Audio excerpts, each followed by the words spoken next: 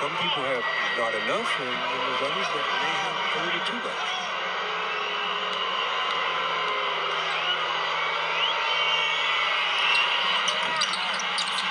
That one bounces in with the soft touch.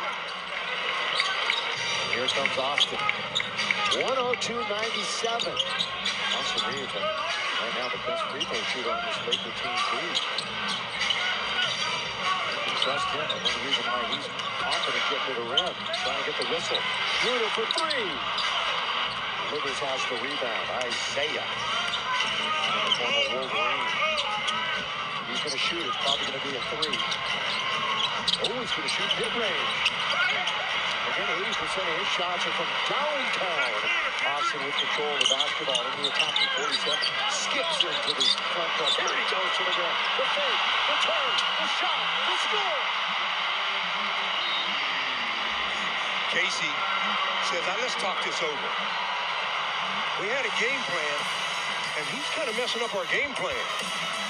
We didn't have our defense geared to stop Austin Reaves, and he is really taking over on the offensive end. He puts the Lakers up by seven.